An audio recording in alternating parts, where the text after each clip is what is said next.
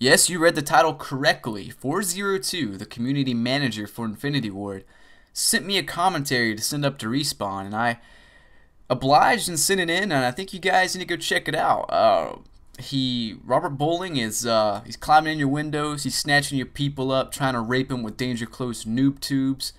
So you need to uh, hide your Xbox, hide your controllers, and hide your hard drives because he's raping everybody up in there.